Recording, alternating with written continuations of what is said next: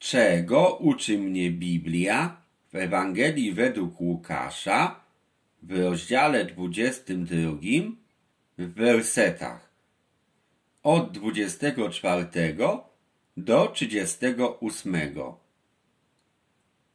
Wszczął się też spór między nimi o to, kto z nich wydaje się największy. On powiedział im, królowie narodów panują nad nimi, a którzy nad nimi mają władzę, zostają nazywani dobroczyńcami. Wy natomiast nie tak. Lecz kto większy jest między wami, niech będzie jak młodszy, a ten, który przewodzi, niech będzie jak ten, kto służy. Kto bowiem jest większy? Czy ten, kto jest u stołu, czy ten, który służy? Czy nie ten, kto jest u stołu? Pośrodku was ja jestem jako ten, który służy. Wy jesteście tymi, którzy wytrwali ze mną w doświadczeniach moich.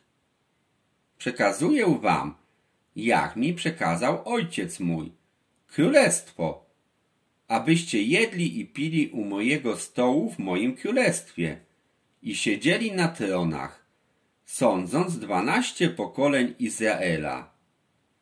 Powiedział Pan, Szymonie, Szymonie, oto szatan domagał się, aby was przesiać jak pszenicę.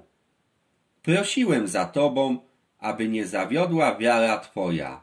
A ty, gdy kiedyś przywrócony będziesz, utwierdzaj braci twoich. On powiedział mu, Panie, gotów jestem iść z tobą i do więzienia, i na śmierć. A on powiedział, powiadam ci, Piotrze, nie zapieje dzisiaj kogut, a ty trzykrotnie zaprześ się, że mnie znasz. Powiedział im, gdy posyłałem was bez sakiewki, bez torby i bez sandałów, czy brakowało wam czegoś? A oni powiedzieli, niczego. Wtedy powiedział im, ale teraz kto ma sakiewkę, niech ją weźmie. Podobnie i torbę. A kto nie ma miecza, niech sprzeda swoją suknię i nabędzie go. Bo powiadam wam, że musi się wypełnić jeszcze na mnie to, co napisano. Ze złoczyńcami został policzony.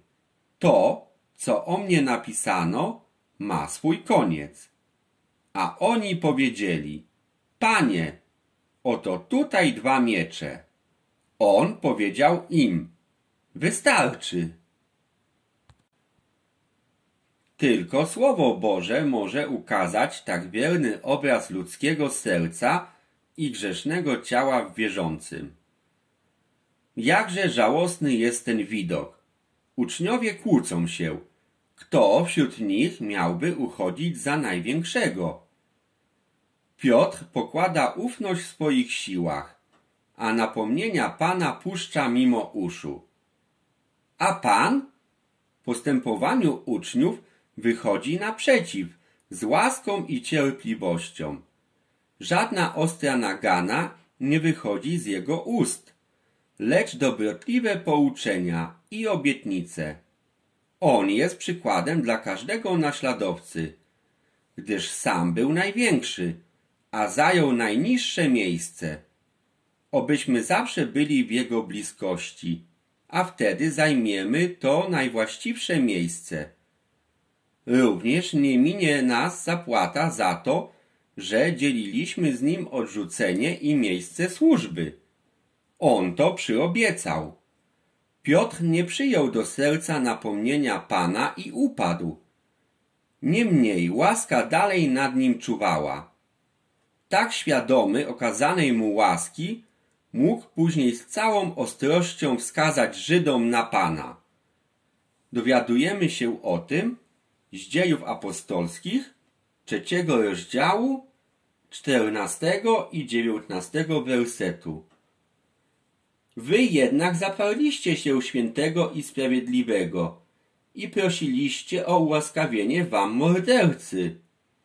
Przeto upamiętajcie i nawróćcie się, aby były zgładzone grzechy wasze.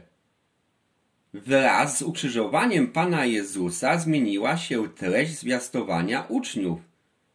Wcześniej głosili nadchodzące królestwo. Ponieważ zwiastowanie to nie znalazło oddźwięku, mieli od tego momentu zwiastować odrzuconego Chrystusa. Do dzisiaj jest to treścią naszej Ewangelii.